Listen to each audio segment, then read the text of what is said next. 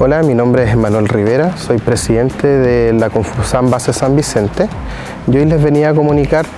que en los próximos días, el 15 y el 16 de marzo, eh, nuestra base se va a encontrar en paro, llamado desde nuestra directorio nacional, que es la Confusam, en donde estamos eh, luchando y estamos haciéndole un petitorio al, gobierno por algunos puntos que son sensibles tanto como para nosotros como funcionarios, como que también van en relación directa a la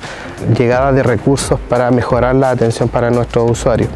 Por eso nuestro llamado es eh, solicitarle a la comunidad que solamente los pacientes que tengan eh, retiro de medicamentos, la entrega de alimentos, los vayan a retirar el día que les corresponde. Va a haber funcionarios nuestros con turnos éticos en la puerta haciendo el filtro de quienes van a ser atendidos y, de, quienes no eh, van a poder recibir la prestación. Las curaciones de diabético esas se van a realizar de manera normal,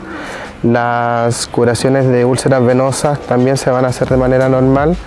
y también vamos a solicitar apoyo y ya lo hemos hecho también solicitándole apoyo a la dirección que, con funcionarios que no pertenecen a nuestro gremio o que eh, están en el otro en la otra asociación que nos puedan apoyar para que también los servicios no se vean en, desmedro con respecto a, la atención. Como Confusam eh, Base San Vicente le pedimos encarecidamente a la comunidad que tengan empatía que tengan eh, comprensión con los funcionarios que van a estar realizando los, eh, los filtros en las puertas tanto de spam como en postas.